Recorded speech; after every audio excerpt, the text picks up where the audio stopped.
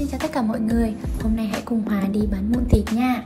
Nếu mà ai thắc mắc mụn thịt là như thế nào á Thì nó giống như là một cục thịt dư nhỏ xíu Không sưng, không đau, không có nhân mủ. Và nếu mà bạn cố gắng cậy nó ra thì chỉ thấy máu thôi. Mọi người nhìn da của Hòa thì có vẻ khá là trắng và mịn Nhưng mà thực ra không phải đâu.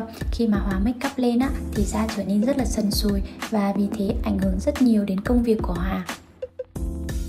Bây giờ thì Hòa đang được bôi tê lên toàn mặt này. Bởi vì trên toàn khuôn mặt của Hà thì chỗ nào cũng có mụn thịt cả mọi người ạ. Sau khi được bôi tê thì mọi người bắt đầu ủ tê trong khoảng 30 phút nha. Sau 30 phút thì sẽ bắt đầu.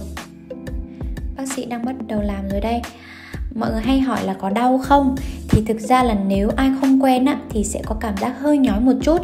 Nhưng mà vì mình đã được ủ tê rồi cho nên là sẽ đỡ đi cảm giác đấy rất nhiều nếu ai sợ đau thì có thể nói bác sĩ ủ tê hơn 30 phút mọi người nhé.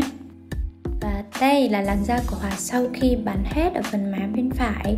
Thực sự là sau khi bắn xong mình mới thấy rõ được là rất nhiều luôn á. Phần cằm và má bên trái của Hòa thì ít hơn má bên phải một xíu. Mọi người hay hỏi Hòa là mụn thịt ở phần gần mắt á, thì có bắn được không? thì ờ, Hòa thấy bác sĩ bắn thoải mái nha mọi người. Và sau khi bắn xong thì làn da của mình nó sẽ rất là mịn màng á. Vậy là Hòa đã xử lý xong toàn mặt rồi. Bác sĩ ở đây khá là kỹ, cẩn thận và nhẹ nhàng Cho nên là mình cũng ờ, bớt sợ và cũng khá là thoải mái. Bây giờ cùng xem thành quả nha. Ngày đầu tiên sau khi bắn thì các vết của Hòa khô khá tốt và không bị viêm. Bác sĩ sẽ kê cho mọi người thuốc về để bôi, Nhưng mà Hòa thì bị dị ứng với cái thuốc đấy, Cho nên là Hòa chỉ rửa mặt bằng sữa rửa mặt, Sau đó thì lau, thấm khô nhẹ nhàng. Ngày thứ hai của Hòa thì cảm giác những cái nốt bắn hơi ngứa và bị mẩn đỏ lên á mọi người.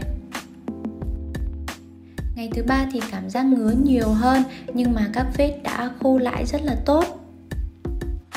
Ngày thứ tư sau khi bắn thì cảm giác ngứa còn khoảng 30% và các vết á, thì khô lại như là muốn bong.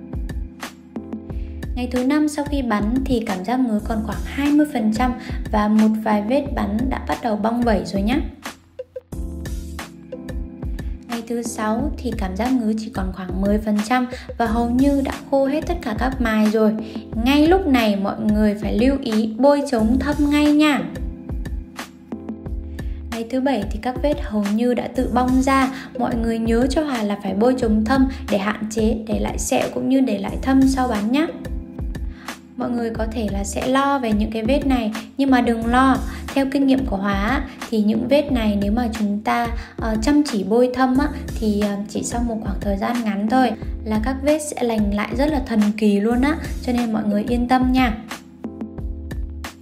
Ngày thứ 10 sau khi bắn thì các vết đã bong hoàn toàn và lúc này thì mọi người có thể rửa mặt cũng như là dưỡng da một cách bình thường. À, kết hợp với đắp mặt nạ dưỡng ẩm và bôi trị thâm mega đua thì như mọi người có thể thấy da của Hòa thì sáng lên trông thấy. À, có những vết thì vẫn hơi ửng đỏ cũng như là có cảm giác bị lõm á. Nhưng mà mọi người yên tâm là một vài ngày tới hoặc là một vài tuần tới thì nó sẽ đầy hơn trông thấy á một vài lưu ý cho mọi người đó chính là sau khi bắn mụn thịt vé thì mọi người chỉ rửa sữa rửa mặt và kết hợp với các thuốc của bác sĩ đưa thôi. À, sau đó thì đến khi nào mà cảm thấy à, các vết bắn đã bong mài thì chúng ta bắt đầu bôi thâm nhé sau khi à, bôi thâm được đến khoảng ngày thứ 10 như của hóa thì mọi người bắt đầu dưỡng da như bình thường. Đó là so với da của Hòa thôi. Còn nếu mà da của mọi người có gì khác thì chắc chắn là bác sĩ sẽ nhắc nhở mọi người sau. Cảm ơn mọi người đã xem clip và hy vọng là à, tất cả chúng ta sẽ có một làn da thật là đẹp nhé.